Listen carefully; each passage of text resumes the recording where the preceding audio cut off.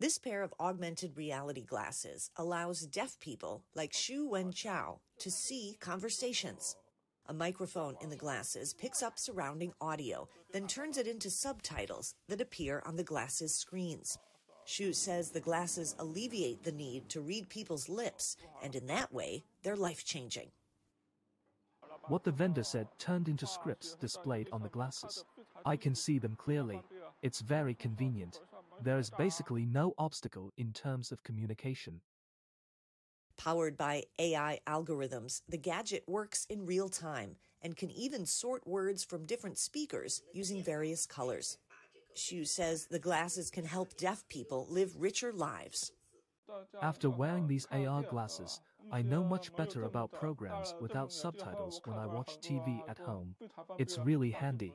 When I'm surrounded by a noisy environment at work, I can know what each colleague says with these glasses. So I'm able to join their conversations. The glasses are developed by Chinese startup LL Vision Technology, which designs and manufactures AR related optical and display modules.